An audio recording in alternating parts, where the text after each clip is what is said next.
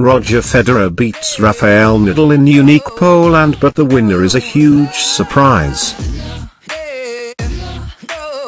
Federer enjoyed a magnificent 2017, clinching two Grand Slam titles and finished the year as number two in the world rankings.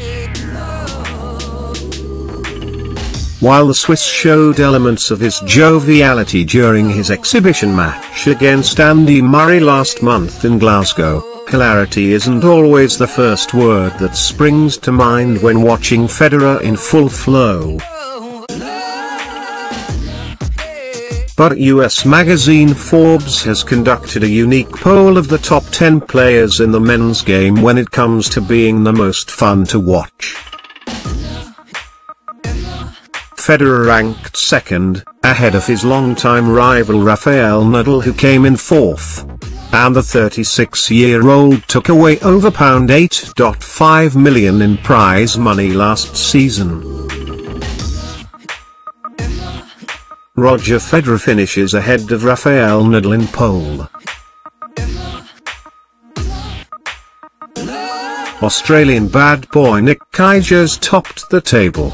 When describing Kyrgios's style, the report said, a genius touch player, with a trigger temper.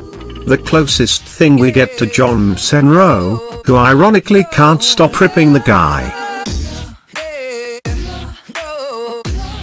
You never know what you're going to get with the Aussie, which is half the fun.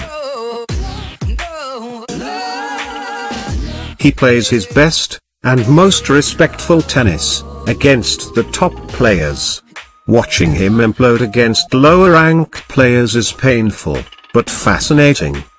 One notable omission was Novak Djokovic, who missed the second half of the campaign with an elbow injury.